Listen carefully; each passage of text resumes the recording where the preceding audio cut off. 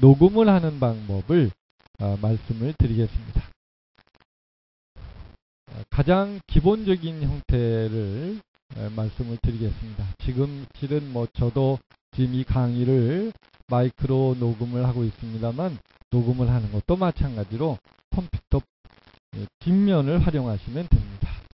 자, 어, 다시 한번 말씀드리지만 이 부분은 시험에 어, 출제되는 부분이 아니고 어, 오프라인으로 만나서 해야 되는 부분이기 때문에 어, 차분히 설명을 드리겠습니다.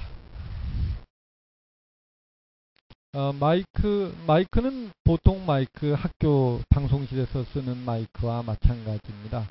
그 마이크를 컴퓨터 뒷면에는 그 스피커를 다는 단자 옆에 그 마이크 단자가 있습니다.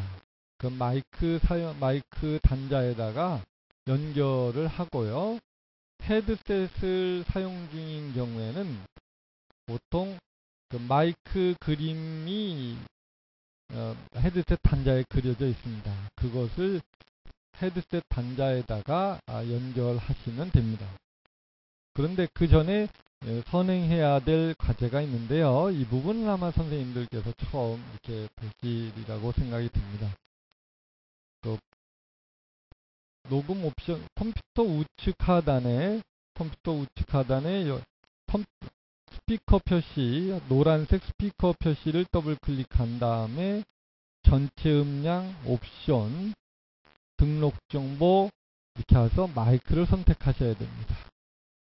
그리고 볼륨 조절해서 마이크 관련 항목을 체크하고 마이크 밑에 선택에 체크를 하시게 되는데요.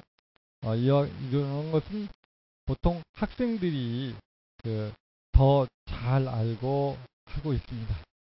그냥 이, 중학교 2학년에서 기술과에서 학생들이 이 수행평가로 녹음기를 이용하는 방법을 하고 있으니까 선생님들께서 학생들에게 질문하시는 것도 좋은 방법이라고 생각이 듭니다. 자, 그러면 제가 직접 시연을 해 보여드리겠습니다. 시작 버튼을 클릭하세요. 다음에 프로그램 다음 프로그램에서 어, 보조 프로그램입니다. 시작 버튼 프로그램 보조 프로그램 다음 엔터테인먼트 제목이 참 재미있습니다. 엔터테인먼트란 오락이 아니겠습니까? 이렇게 학생들에게는 어, 윈도우 어, 인터넷을 어, 컴퓨터를 활용해서 녹음을 하는 것이 일종의 학생들에게는 그저 재미있는 오락의 기능을 제공하고 있습니다. 녹음기를 클릭하시고요. 그러면 이와 같이 윈도우 모든 윈도우 프로그램에서 기본적으로 제공하는 녹음기가 나타나게 됩니다. 네, 다시 한번 시작 버튼 누르시고 프로그램 그 다음에 보조 프로그램 네, 엔터테인먼트 녹음기를 선택하세요. 그러면 네, 이렇게 보시면 본능적으로 어느 단추를 누르면 녹음이 되겠다 하는 것이 생각나시죠? 예, 빨간 단추를 누르세요. 빨간 단추를 누르시고 어, 여러분 안녕하세요.